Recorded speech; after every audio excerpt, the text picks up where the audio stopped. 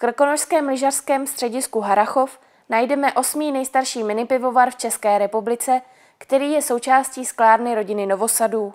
My jsme začali uvažovat o výstavbě pivovaru v době, kdy bohužel jsme předpokládali, že sklo nedopadne dobře, protože se tam do tohohle biznesu začali motat lidi, kteří s tím nikdy neměli nic společného, tak jsem ze strachu se chtěl postavit, jak se říká, i na jinou nohu než na sklářskou.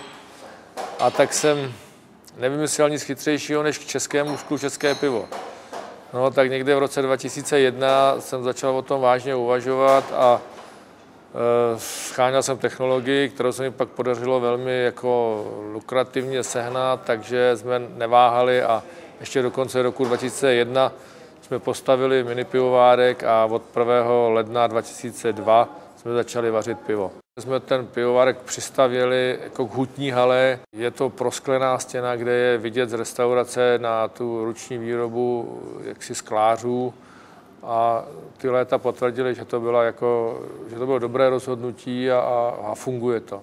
My jsme začátku taky zkoušeli různé druhy, ale ustálili jsme se na světlém ležáku František, tmavý ležák Čerťák, potom máme výčepní pivo a máme hudské pivo, e, to je méně alkoholické, ale alkoholické, je to osmička a to, jak my říkáme, vaříme pro naše skláře a pro rozumný šoféry.